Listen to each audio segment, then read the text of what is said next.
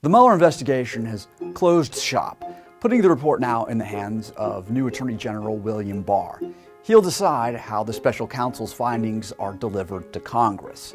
Let's look at the scope and scale of Robert Mueller's investigation by the numbers. It was on May 17, 2017, that Acting Attorney General Rod Rosenstein appointed Mueller to serve as special counsel.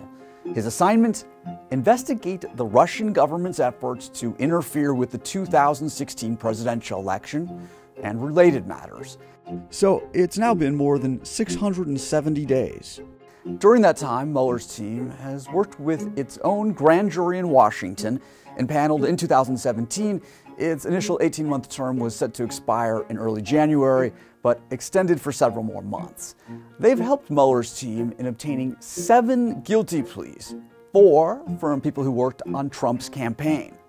Indicted or charged with crimes are another 27 individuals.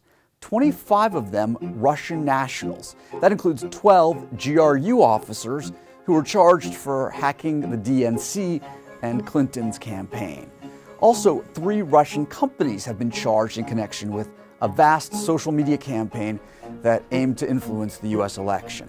Since Mueller began his investigation, Facebook's removed about 500 pages and accounts on both Facebook and Instagram.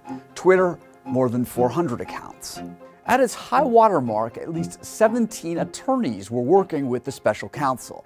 Most of them were on temporary assignment to Mueller from other areas of the Justice Department. These lawyers have spent hundreds of hours interviewing cooperating witnesses. Former National Security Advisor Michael Flynn, for example, sat for a total of 19 interviews, totaling approximately 62 hours and 45 minutes.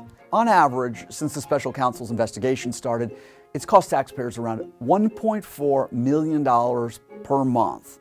By last October, the total had reached $25 million. The number includes expenses such as salaries and benefits, rent and utilities for office space, travel and printing for the special counsel's office itself. So that figure also includes the cost of Department of Justice assets, including FBI agents, detailed to the investigation.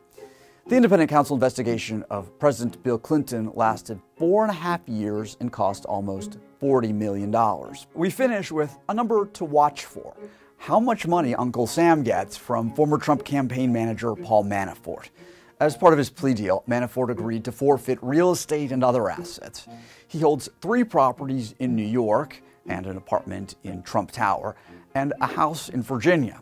After selling them and seizing money from various bank accounts, the total could come to more than the entire cost of the Mueller investigation.